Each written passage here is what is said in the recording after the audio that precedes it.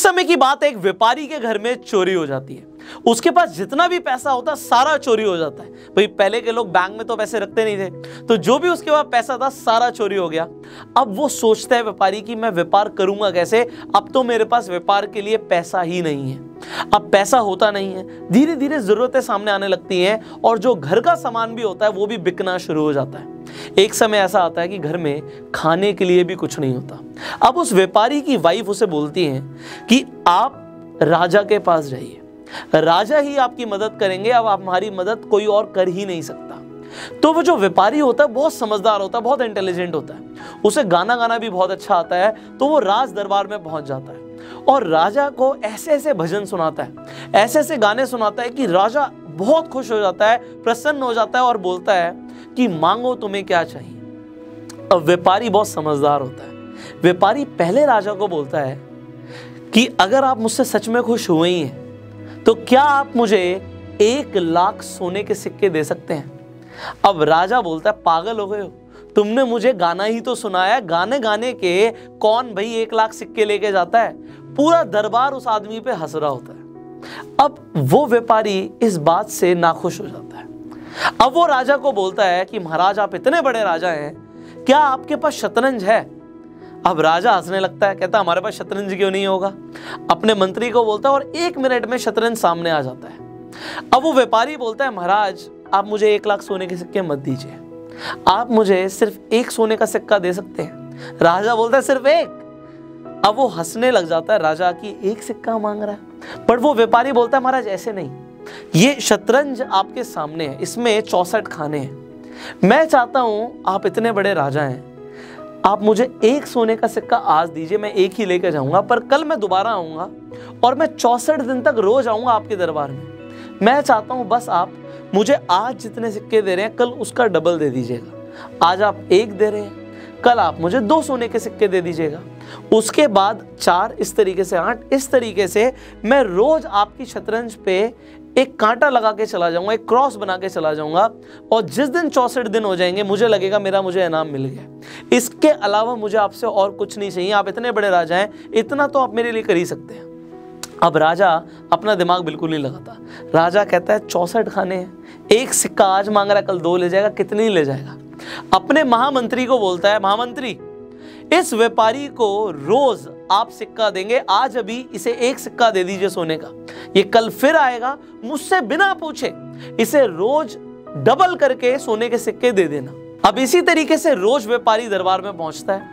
महाराज से नहीं मिलता। महामंत्री उसे अपने आप ही डबल करके सोने के सिक्के दे देता है। तो पहले दिन तो उसे जहाँ पे एक सोने का सिक्का मिलता है, दूसरे दिन मिलते हैं दो। पर तेईसवें दिन कुछ ऐसा होता है कि राजा भी घबरा जाता है, महामंत्री भागा भागा राजा के पास आता है और बिल्कुल पसीना टपक रहा है, घबराया हुआ है महामंत्री और उससे बोला नहीं जा रहा। अब राजा बोलता है, हुआ क्या है महामंत्री, मेरे सामने ऐसे क्यों आए हो? किसी ने हमला बोल दिया क्या हमारे ऊपर? क्या हुआ क्या है, मुझे बताओ? महामंत्री बोलता है, महाराज, हमारा पूरा महाकोश खाली हो गया हमारे पास अब कुछ नहीं बचा, सब लुट गया, सब चला गया। राजा बोलता है, पागल हो गए हो, किसने चुराया? किसने हमारी सारी संपत्ति ले ली? हमारा सारा सोना कहाँ गया? वो महामंत्री बोलता है, महाराज, आपको याद है वो व्यापारी जो तेईस दिन पहले दरबार में आया था? उसने हमारे साथ एक साजिश करी है। हमारे सारे सिक्के वो लेके जा चुका है। आज ही मैंने उसे इकतालीस लाख चौरानवे हज़ार तीन सौ चार सिक्के दिए राजा कहता है, पागल हो गए हो? तुमने किससे पूछ के उसे इकतालीस लाख चौरानवे हज़ार तीन सौ चार सिक्के दे दिए? इतने थोड़ी दे रहे थे उसे। महामंत्री बोलता है महाराज, आपको अपना वचन याद नहीं आपने बोला था, मुझसे बिना पूछे ही उसे हर रोज डबल करके सोने के सिक्के दे देना। महामंत्री बोलता है, मैंने बिल्कुल वैसे ही किया महाराज। मैंने उसे पहले दिन एक सिक्का दिया था, दूसरे दिन दो दिए, तीसरे दिन चार दिए, चौथे दिन आठ दिए, पाँचवें दिन सोलह दिए। आठवें दिन तक 128 सिक्के दिए थे। तो राजा बोलता है बाकी के कहाँ गए? महामंत्री बोलता है, महाराज, आगे तो सुनिए। नौवे दिन तक उसे 256 सिक्के गए थे बट सोलहवें दिन तक उसे बत्तीस हज़ार से ज़्यादा सिक्के चले गए। इसी तरीके से सत्रहवें दिन पैंसठ हज़ार से ज़्यादा मैंने उसे दिए। उसके बाद डबल होना शुरू हो गया, महाराज। अठारहवें दिन तक मुझे लगा है बहुत सारे सोने के सिक्के लेके जा रहा है, क्योंकि एक लाख इकतीस हज़ार से ज़्यादा सिक्के मैंने उसे दिए थे। पर उसके बाद उन्नीसवें दिन दो लाख से ऊपर बीसवें दिन पाँच लाख से ऊपर इक्कीसवें दिन दस लाख से ऊपर और बाईसवें दिन बीस लाख से ऊपर। बीस लाख सोने के सिक्के तक मुझे लगा हमारे पास है अभी राजकोष में, बहुत पैसा होगा। बट आज मैंने जब उसे इकतालीस लाख से ज़्यादा सिक्के दिए, मैंने देखा अब राजकोष में कुछ नहीं बचा। और इसीलिए मैं आपके सामने आया हूँ। अब अगले दिन वो हमसे तिरासी लाख से ज़्यादा सिक्के लेने आ रहा है महाराज। इतना पैसा, इतने सिक्के हम कहाँ से लेकर आएँगे? अब राजा को समझ नहीं आता उसके साथ हुआ क्या है। पूरी रात राजा को नींद नहीं आती। अब अगले दिन जब दरबार में वो व्यापारी आता है, राजा अपना सिंहासन छोड़ता है और उस व्यापारी के पैरों में गिर जाता है। बोलता है कि मैंने आपको सबके सामने वचन दिया था कि मैं हर रोज चौसठ दिन तक आपको पैसा डबल करके दूँगा। पर मुझे नहीं पता था उस दिन दरबार में, जिस दिन आपने मुझसे एक लाख सिक्के मांगे थे, इतनी बड़ी भूल हो गई। मुझे उस दिन आपको एक लाख सिक्के दे देने चाहिए थे। मुझे नहीं पता था आप इतने बड़े ज्ञानी हैं। आपने चौसठ दिन तक ये बोला कि आप मुझे सिर्फ़ डबल करके दे दीजिए एक सिक्का। और मुझे लगा आप कितने सिक्के मुझसे ले जाएँगे। और कल मेरे महामंत्री ने बताया कि हमारा पूरा राजकोष खाली हो गया है। अब हमारे पास इस सिंहासन के अलावा आपको देने के लिए कुछ नहीं है, क्योंकि हमारे पूरे राज्य में इतने सिक्के नहीं है सोने के। तो आप मेरा सिंहासन ग्रहण करें। देखिए, ये तो एक कहानी थी, जिसमें राजा को पावर ऑफ़ कंपाउंडिंग नहीं पता थी और उस व्यापारी को, उस बिजनेसमैन को पावर ऑफ़ कंपाउंडिंग पता थी। एक पावर ऑफ़ कंपाउंडिंग से एक सोने का सिक्का तेईसवें दिन तक इकतालीस लाख चौरानवे हज़ार तीन सौ चार बन सकता है। आप जरा सोचिए, अगर ये एक रुपया होता तो तेईसवें दिन फोर्टी वन लाख से ज़्यादा हो सकता है। बट अगर आज ये आपको कोई बोले कि आज आप मुझसे दस लाख रुपए ले लो, या फिर हर रोज मैं आपको चौसठ दिन के लिए एक रुपया मल्टीप्लाई करके देता रहूँगा डबल करके देता रहूँगा तो आप क्या चूज़ करेंगे? आपका लग रहा होगा कि आप तो अब एक रुपये को ही चूज़ करेंगे कि हर रोज डबल करके मिले। बट ऐसा नहीं है। जब हम इस वीडियो को शूट कर रहे थे, इस वीडियो को शूट करने से पहले ये सेम सवाल मैंने अपने कैमरामैन से पूछा। और उन्होंने बोला, सर, मैं तो दस लाख रुपए को चूज़ करूँगा। क्योंकि कितना ही हो जाएगा भाई? चौसठ दिन तक कितना ही हो जाएगा। आप मुझे ज़रा नीचे कमेंट में बताइएगा। अगर वो व्यापारी राजा से चौसठ दिन तक सिक्के लेता तो कितने सिक्के उस राजा को, उस व्यापारी को देने पड़ते आप नीचे कमेंट्स में ज़रूर बताइएगा। अब, जैसे मैंने बोला कि भाई, ये तो एक कहानी थी। रियल लाइफ में ये पावर ऑफ़ कंपाउंडिंग कैसे काम करती है, इसे समझते हैं। देखिए, यहाँ पे क्या है, जब एक का दो हो रहा है तो ऑलमोस्ट हंड्रेड परसेंट की रिटर्न मिल रही हैं। अब ये हंड्रेड परसेंट की रिटर्न हर दिन नहीं मिलती, कहीं भी नहीं मिलती, वरना हर कोई अंबानी बन जाएगा। बट बात यह है कि अगर आज आपने इस पावर ऑफ़ कंपाउंडिंग को समझा let me tell you one thing your life is gonna change forever आपकी पूरी ज़िंदगी बदलने वाली है let me tell you why देखिए, अगर हम रूल ऑफ़ सेवेंटी टू की बात करें, अब आप में से ज़्यादातर लोगों को रूल ऑफ़ सेवेंटी टू पता होगा, कम से कम उन लोगों को तो ज़रूर पता होगा जो हमारी रेगुलर वीडियोस देखते हैं। तो रूल ऑफ़ सेवेंटी टू क्या कहता है कि भैया, आपको जो भी रिटर्न्स मिल रही हैं साल की, मान लेते हैं आपको सिर्फ़ बारह परसेंट की रिटर्न्स मिलती हैं। तो आप उसे 72 से डिवाइड कर दीजिए। आपके पास आंसर आ जाएगा कि कितने साल में आपका पैसा डबल हो रहा है। तो छह साल में आपका पैसा मान लेते हैं डबल हो रहा है। वहाँ पे एक दिन में हो रहा था, यहाँ पे छह साल में हो रहा है। मैं छह साल का एग्ज़ाम्पल लेता हूँ कि आज एक आदमी के पास उसने काफ़ी पैसा कमाया और उसने एक करोड़ रुपए को कंपाउंडिंग पे लगा दिया। तो एक का दो करोड़ रुपए होगा, दो का चार करोड़ रुपए होगा चार का आठ करोड़ भी होगा और आठ का सोलह करोड़ रुपए भी होगा। बट अब बात आती है कितने टाइम में? यहाँ पे छह साल में हो रहा था सिक्स ईयर्स में। ठीक है जी? हमने रूल ऑफ़ सेवेंटी टू के हिसाब से समझ लिया। ये बारह साल हो गए। यहाँ पे अट्ठारह साल हो गए और यहाँ पे चौबीस साल हो गए। अब आप कहेंगे चौबीस साल में जाके, सर, ये सोलह करोड़ रुपए हो रहा है, एक करोड़ का सोलह गुना हो रहा है चौबीस साल में, बारह परसेंट के रिटर्न के हिसाब से। बट भाई, मेरा एक सवाल है आपसे।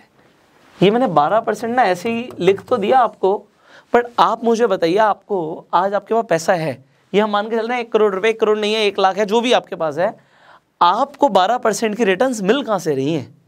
बैंक में पैसा रखोगे, बैंक में तो आपको तीन परसेंट की रिटर्न दे रहा है। अगर आप बैंक में सेविंग अकाउंट में पैसा रखते हैं, अगर आप एफडी भी करा लेते हैं तो कितना? पाँच से छह परसेंट का रिटर्न दे रहा है। And I am sorry to say dear छह परसेंट पाँच से छह परसेंट तो इन्फ्लेशन ही बढ़ रहा है। इन्फ्लेशन क्या होता है? महँगाई। तो अगर आप बैंक में पैसा रखते हैं तीन परसेंट के हिसाब से तो आप लॉस में जा रहे हैं, आप नेगेटिव में जा रहे हैं। कंपाउंडिंग नेगेटिव में काम करेगी और आपको साल बाद देखेंगे कि आप गरीब होते जा रहे हैं, अमीर नहीं हो रहे। अगर आप एफडी में पैसा रखते हैं पाँच से छः परसेंट तो पैसा बढ़ कहाँ रहा है? जितना रखा है उतना उस पर जंग लग रहा है इन्फ्लेशन महँगाई आ रही है और आपको उतना रिटर्न मिल रहा है। तो एफडी कुछ नहीं है। एफडी तो बस ये है कि आपका ना पैसा बढ़ रहा है, ना कम हो रहा है। बट फिर क्या करें? वॉट टू डू नेक्स्ट अब आप बहुत सारे इन्वेस्टमेंट ऑप्शन को समझ सकते हैं। देखो, हमने एफडी को तो यहाँ पे डिस्कस कर ही लिया। बहुत सारे लोग एफडी कराते हैं। दूसरा इन्वेस्टमेंट ऑप्शन समझते हैं लोग कि हम गोल्ड खरीद के रख लेंगे। चलो, जहाँ पे आपको पाँच से छः परसेंट की रिटर्न मिल रही है, यहाँ पे आपको नौ से दस परसेंट की रिटर्न मिल जाएगी। लोग और क्या करते हैं जब उनके पास पैसा आ जाता है? रियल स्टेट वो रियल स्टेट में इन्वेस्टमेंट कर देते हैं। अगर आप रियल स्टेट में इन्वेस्टमेंट करते हैं तो पहली बात तो आप दस बीस हज़ार से इन्वेस्टमेंट नहीं कर सकते रियल स्टेट में। आपको लाखों करोड़ों रुपए चाहिए। तो यहाँ पे जिनके पास स्मॉल कैपिटल है, वो तो आ ही नहीं सकते। मैं रिटर्न्स की बात नहीं कर रहा क्योंकि रियल स्टेट में अच्छी रिटर्न्स मिलती है no doubt about that depending आप क्या खरीद रहे हो, कहाँ खरीद रहे हो एंड खासकर लैंड में आप इन्वेस्टमेंट करोगे तो आपको डेप्रिसिएशन तो होता नहीं, उसमें आपको एप्रिसिएशन ही होना है. बट बात ये आती है क्योंकि पॉपुलेशन हमारी बहुत ज़्यादा है तो रियल स्टेट में पैसा बढ़ेगा. बट अगर कैपिटल स्मॉल है तो you're out of the game then लोग म्यूचुअल फंड्स में इन्वेस्टमेंट करते हैं. अब म्यूचुअल फंड्स में भी लोग किस तरीके से इन्वेस्टमेंट करते हैं? या तो इक्विटी इन्वेस्टमेंट लेते हैं इक्विटी म्यूचुअल फंड्स और डेट म्यूचुअल फंड्स भी रह सकते हैं सेफ़ साइड के लिए। अब equity is a very important thing यहाँ पे इस इक्विटी को मैं समझा देता हूँ क्योंकि आप अगर म्यूचुअल फंड्स में जाओगे, अच्छे म्यूचुअल फंड्स में आपको पंद्रह परसेंट से ज़्यादा की भी रिटर्न मिल सकती हैं। जो हम अभी बारह परसेंट की बात कर रहे थे। अब ये इक्विटी का मतलब क्या होता है? शेयर्स में इन्वेस्टमेंट अब आपको लग रहा होगा शेयर मार्केट तो बड़ा रिस्की है। देखो रियल लाइफ में कंपाउंडिंग कैसे काम करता है भी बताऊँगा। अगर आपने कोरोना वायरस से पहले किसी भी अच्छी कंपनी के शेयर खरीदे होते तो कम से कम मरे से मरा आपका पैसा डबल तो हो ही चुका होता। ऐसी भी कुछ कंपनीज़ हैं जिसमें कोरोना के बाद अभी तक लॉकडाउन के बाद की बात कर रहा हूँ, दस गुना पैसा बढ़ चुका है। कितने टाइम पीरियड में? बहुत ही कम टाइम पीरियड में। अगर कोई इस मल्टीप्लीकेशन इफ़ेक्ट को कंटिन्यू रखे तो कितना पैसा कमा सकता है? ऐसा नहीं कह रहा मैं हर बार दस गुना होगा। बट ऑन एन एवरेज अगर आप अच्छे शेयर्स में इन्वेस्टमेंट कर रहे हो, ये पंद्रह परसेंट छोड़ो, आप अट्ठारह परसेंट से ऊपर की रिटर्न्स ईजी ला सकते हो। ईजिली लेकर आ सकते हो ये, अगर आप अच्छे शेयर्स में इन्वेस्टमेंट कर रहे हो। अब 18 परसेंट की रिटर्न इन्वेस्टर्स के लिए है।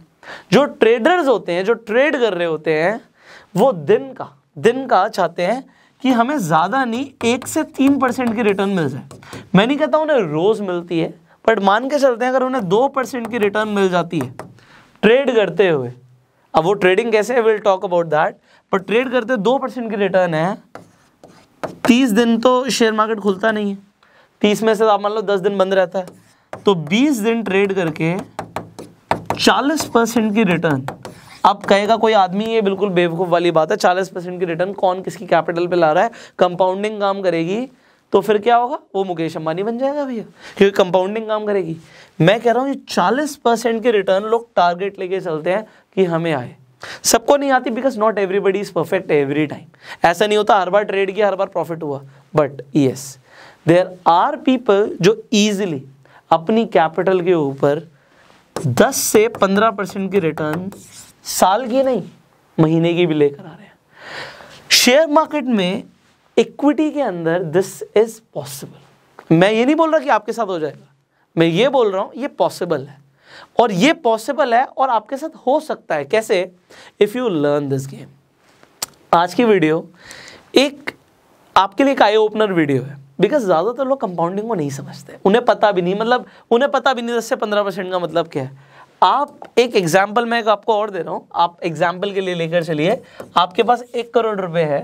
और एक करोड़ रुपए पे अगर आपको दस परसेंट की रिटर्न आ जाती है, अगर आ जाती है तो ये एक करोड़ दस लाख रुपए होता है अगले ही महीने। ये सेकेंड मंथ की मैंने बात करी, ये फ़र्स्ट मंथ की बात करी।